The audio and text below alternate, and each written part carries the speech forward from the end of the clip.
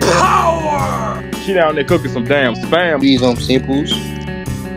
Hey everyone, it's Mykah Fragrance back at it again with another video. In today's video, I took my favorite fragrance from every single house in my collection, almost every single house. I didn't include the Michael Jordan cologne. I didn't include Sauvage. So unfortunately, those fragrances are not going to be featured in this video. The Herbapure cologne I didn't throw in. Um, but these are, you know, like 100% serious houses. You know, they're not really, I mean, I have a few clone houses in here. By a few, I have like two. Um, but pretty much otherwise, we have, you know, designer brands, um, one niche brand technically. But I figured let's hop into this. I'm just going to try and do this all in one take. Otherwise, this will take forever to edit. And keep in mind, I'm just going to tell you what they smell like. I, there's not going to be a note breakdown or anything, or else this video would be one, way too long and hard to edit, and two, it would just be a much longer video. So I'll give you guys just a simple little note breakdown. Um, if you guys do want to actually see what these fragrances smell like, um, you know, if you want to see a full review, I should have reviews of pretty much all of these fragrances up, um, whether it's a long form or a short form review. But let's hop in now. In the first fragrance coming from the house of Davidoff is Davidoff's Cool Water EDT. This is a fresh, herbally green fragrance. Very nice. Came out in the 80s. People say it's outdated. I disagree. Um, good fragrance. You know, it's also my only fragrance from Davidoff, so that is why it gets that number one spot. We will have a couple more fragrances like that. You know, they're the only fragrance I have from that house, so they automatically have a buy. We have another example right now with Gucci, and it's the Gucci Guilty Elixir. Don't even have a full bottle of this. I just have a little sample, but this is a nice, almost like minty vanilla fragrance. Like it really gives me a mint vibe, even though there isn't any mint listed, if I'm not mistaken. Um, but it's a decent smelling fragrance, although to me it's a little more feminine. My girlfriend likes to put this on and it actually smells really good on her. Now I do like this. Would I buy a bottle for myself? Maybe. Would I buy a bottle for my girlfriend? Maybe as well. Um, but again, that one just kind of gets a buy because it's the only fragrance I have from Gucci. Same thing with this one with the House of Jimmy Choo, Jimmy Choo Man EDT. This is a woody, citrusy fragrance, very attractive, nice, masculine. Doesn't last that long, like four to six hours great smell, and one of my first introductions to fragrances. Um, great fragrance, but of course it gets that buy because it's the only fragrance I have from that house. From Mont Blanc, which I have a decent amount of Mont Blanc fragrances. My favorite is Mont Blanc Legend EDT, Clone Abercrombie and Fitch's Fierce. Woody, fruity, citrusy, nice little hint of vanilla. Has a nice apple note in there. It has a rose note as well. Very beautiful fragrance. Lasts like six to seven hours on my skin. Masculine. You can wear this whenever, wherever. Never a bad time to wear this my favorite Mont Blanc, and I don't. It wasn't my first Mont Blanc, but just a great fragrance. So that's why it's my favorite Mont Blanc. Next one, this one gets a buy as well because it's the only one I have from the house. The house of uh, Guy Laroche, I think, is the house, but it's Drakkar Noir. Drakkar Noir, another legendary fragrance that came out in the 80s. Nice, sure, old school smelling, not outdated though. It has a nice like musky vibe to it. Very nice, classic smelling fragrance. Slightly spicy, slightly sweet at the same time. This has to have like some tobacco or something in there. Great fragrance. This used to be my stepdad's, but he gave it to me. Um, great fragrance, but again, gets that buy because it's the only house, or it's the only fragrance from that house that I have.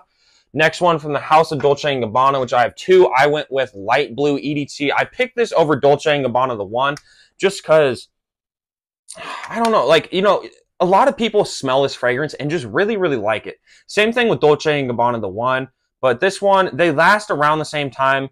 And honestly, if it comes up to that, I'd rather, I'd rather have a fragrance I can wear in the warm weather and cool weather, opposed to something that, yes, you can still wear the one in warmer weather, but it's better in cooler weather. Also, I feel like my mom really likes light blue. My girlfriend really likes light blue. A lot of people really love light blue. It's a very legendary fragrance, so that's why it deserves the number one spot.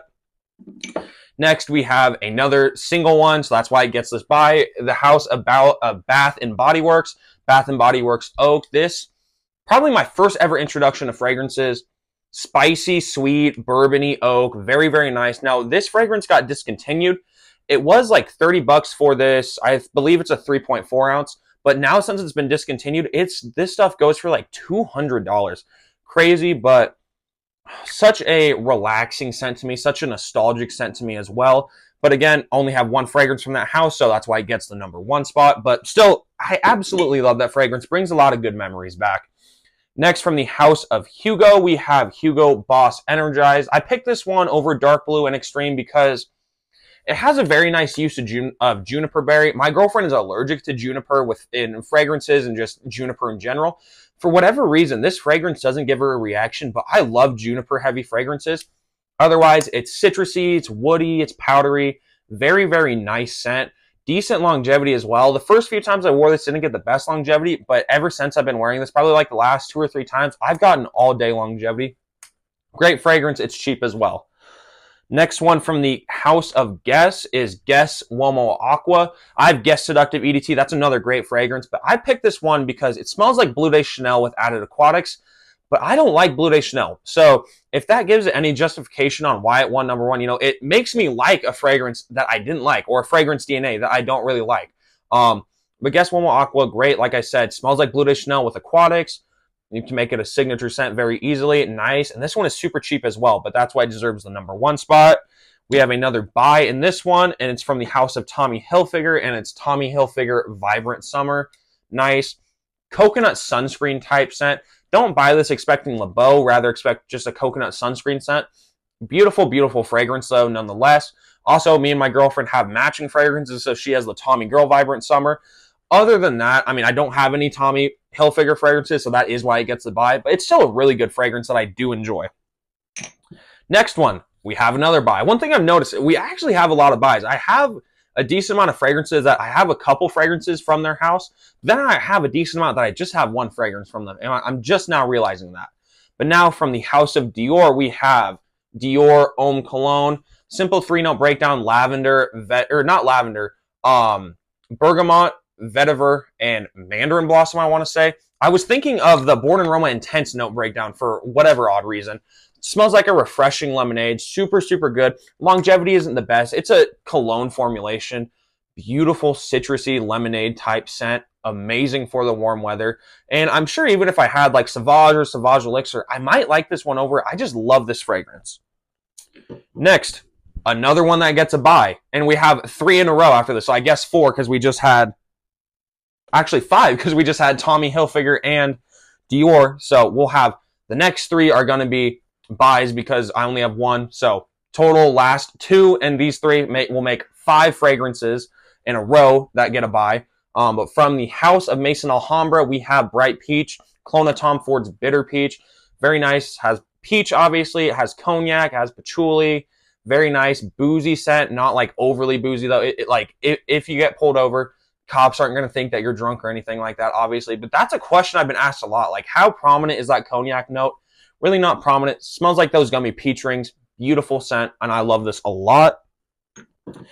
Next one, like I said, a buy from the house of Christopher Lee Fragrances, Honey Water. Really realistic honey, lavender, vanilla scent. Christopher Lee sent this fragrance out to me. Beautiful. It's extrait de parfum. Lasts a long, long time. I'm talking all day performance. This is just a really good fragrance, and I really do like it. I do want to get some more from his brand because I do enjoy this fragrance, but Great fragrance. And I'm sure even if I had some other ones, I'd probably like that one the most. Now getting to the end of that little five bypass run, I suppose you could say, we'll have Halloween Man EDT, my only Halloween Man fragrance. Supposedly smells like 1 million. This is fruity. It's warm, spicy, nice and vanilla heavy. Great fragrance. This stuff is cheap and I get like nine hours longevity. This stuff is so strong on me. Beautiful, beautiful fragrance. I asked my mom for Halloween Man X and she picked this one up. She didn't know that there was a difference. I never heard of this one, but I love this one. So, mom, if you're watching this, thank you for making that mistake and picking me up this fragrance because I really do enjoy this fragrance. Um, great fragrance though. That's why it gets number one. Also because it's the only Halloween Halloween Man fragrance I have. Next, from the House of Burberry, we have Burberry London. Burberry London straight up smells like a pine tree with like gingerbread cookies. It smells just like Christmas, honestly. But this is a very, very nice fragrance. Spicy, it has tobacco, must have some cinnamon in there. But like I said, you get like this pine smell and almost like this gingerbread smell. Amazing fragrance. Longevity isn't the best. You will have to reapply. But this is just a good fragrance. Very cozy smelling, warm smelling. My girlfriend got this for me too. So it does hold some sentimental value. Sentimental value aside, I would still like, I still prefer this over Burberry Brit and Burberry Touch, although I do enjoy those fragrances a lot. So deserves a number one spot. Next one from the House of Versace. You guys are probably thinking I'd go blue jeans. Did not go blue jeans because this is my all-time favorite Versace fragrance I've smelled so far. Versace Dylan Blue ambroxan Heavy. Aquatic has grapefruit. It's fruity, obviously. Really, really nice fragrance. Great signature scent. Cheap. It's like 43 bucks, or yeah, it's like 43 bucks for the 3.4 ounce. Amazing fragrance. If you haven't gotten it, get your nose on it. I get all day performance with mine. Amazing fragrance. It deserves that number one spot. Next one. This one is a buy, and it is from the House of Prada, Prada Luna Rossa EDT. This is ambroxan heavy, lavender heavy, mint heavy. Super, super nice, attractive, citrusy, powdery. Almost reminds me of Armani Code in a weird way. Um, but great, fresh, light, very attractive. I wore this to dinner uh, last night as of recording. Great fragrance. My girlfriend loves this one. Amazing fragrance. I get all day longevity out of this one as well. Great fragrance. Deserves that number one. Also because it's the only fragrance I have. Next one from the House of YSL. I'm giving uh, my favorite is YSL Y Le Parfum. Green apple, aldehydes, grapefruit, and ginger in the opening. Tonka bean and wood heavy dry down. Great signature sweet green apple that the whole YSL Y line has. Amazing fragrance, and I really do enjoy this fragrance. Next one, we have a buy, and I think the next three we will have a buy. Um, and then after that, we only have one more that has a buy. So Abercrombie and Fitch's First Instinct together, 20 bucks, smells like Invictus with um, some florals in there. Beautiful fragrance. I get like six to seven hours of longevity. It is not that strong though. I go about like one, two, three, four, five, six sprays with this fragrance. So not that strong. You can't overspray it, but it's super cheap and it's, I would say a hidden gem. Great fragrance. You want Invictus, but you're on a budget. Definitely look for this one. And it has a cool like warp design on the bottle. But again, only Abercrombie and Fitch fragrance I have. Next, from the House of Viktor and Rolf, only Viktor and Rolf fragrance I have. Spice Bomb Night Vision EDT. But this is my favorite Spice Bomb. Super nice, citrusy, woody, slightly spicy, peppery. Has a chili pepper, not a chili pepper, but has like a, a red hot pepper note or something like that. Great fragrance though. Tonka bean wood heavy dry down beautiful. Just doesn't really last, but I love this scent. Next, from the House of Rasasi. Again, this one is a buy. Rasasi Hawas smells like Invictus on steroids. Synthetic take has a nice plum note, almost bubblegum type sweetness. Amazing fragrance. I get 11 hours longevity. This is probably one of, if not my most strongest fragrance in my collection. Great fragrance. Oh, I almost dropped that. Next, from the House of Valentino. So I guess this one has a buy too. The next two will be a buy. Um, so I guess we had another run of five. Interesting. We're having runs of five. We had two runs of five so far. House of Valentino goes to Born in Roma Intense, Lavender, Vetiver, Vanilla, Simple Three Note Breakdown. Almost gives me like a makeupy vibe. I know I'm crazy because Iris gives people a makeupy vibe, but this gives me a weird makeupy vibe. But I absolutely love this fragrance. Great definitely stretches its versatility as well. People say it's just a cool weather fragrance. I disagree. This is a warm weather fragrance too. Just don't overspray it. But great fragrance and good longevity as well. Next, from the house of Nautica, Nautica Voyage, the TikTok hype beast, and now you're cringy if you wear it. Green apple, fresh, aquatic, slightly woody, and honestly not that bad. I really did not like this fragrance a lot. I, okay, I really liked it when I first got it, then I didn't like it, and now I'm back to liking it. Amazing. I wear this as like a gym scent whenever I go to play basketball or whenever I go to work out. This is what I wear. Amazing fragrance, though, in my opinion. My mom really likes this stuff too. Every time I've worn this, I get a lot of compliments from her. Um, she says she really likes the scent, and it's like 20 bucks. So if you want something that it seems like the ladies like more, not even just saying that because my mom's giving me compliments, but that's what I've kind of heard is that the ladies enjoy Nautica Voyage more than guys do.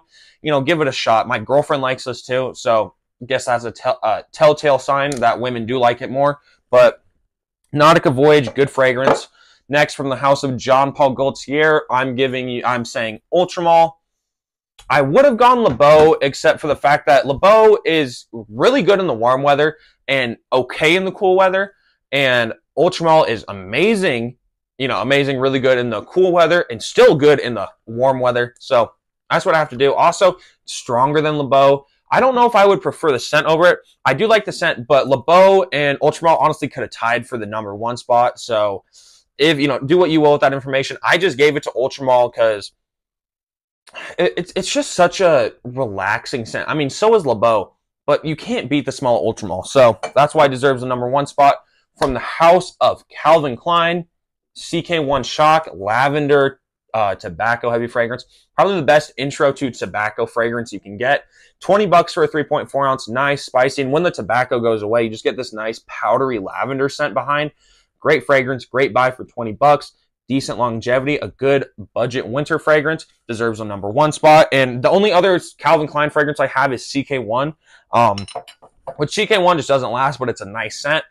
And last one in this video, drum roll please. You guys haven't seen it, so you guys know exactly where I'm going with this. If you follow my channel, from the House of Armani, Stronger With You EDT, chestnut vanilla combo, sugary sweet, has a smoke note, has a lavender note as well. Amazing fragrance, my favorite fragrance of all time. I didn't even mean to put it in the last place spot. That's just where it ended up. But great fragrance. And I do have a couple other Armani fragrances. I have Armani Code EDP, I have Acqua di Gio Profondo, and I have Stronger With You Intensely. But this just deserves the number one spot. So I guess a good fragrance to end off the video with. Let me know if you guys were surprised with some of these fragrances. I took over another one from the houses. I know maybe you guys were surprised I went Dylan Blue instead of Blue Jeans, or maybe you were surprised I went, for example, I went Mont Blanc Legend over like Mont Blanc Individual or something like that. But like I said, let me know if anything interested you guys in this video. I hope you all have a great day. I just kind of wanted to do this video because it was interesting to me. I'd never really seen a whole lot of people do this. Granted, I have seen some people, but this isn't like a huge topic like some other videos I do. So wanted to do that because this was just a video that I wanted to do for a while, as I said. Um, so sorry if this video was kind of boring, kind of dragged on for a little bit. But I appreciate each and every one of you guys. Have a great day. I'll see you all in the next video. Stay safe, everyone.